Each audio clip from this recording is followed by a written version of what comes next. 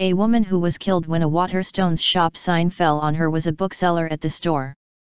Margaret Sheridan, 68, from Singleton, Lancashire, was pronounced dead at the scene after the Blackpool store sign fell on her on Monday evening. A Waterstones spokesman said she was a much-loved and well-respected colleague. A joint investigation by Lancashire Constabulary and Blackpool Council is underway into the incident. It is unclear if the accident on Bank Hey Street was weather-related. Witnesses reported a sign at the front of the store had fallen off at about 1730 GMT and Ms. Sheridan was trapped underneath as members of the public tried to lift it up. Big crash. A shop assistant, who works nearby, said the street is known for being a bit of a wind trap. It's a very, very windy street. It's not the first sign to fall down, said the woman, who did not want to be named.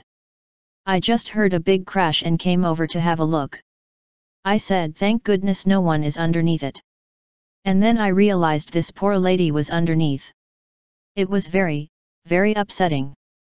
Waterstones bookshop in Bank Hey Street, Blackpool Blackpool councillor Gillian Campbell said her thoughts were with the victim and her family. The street remains cordoned off while police continue their investigations.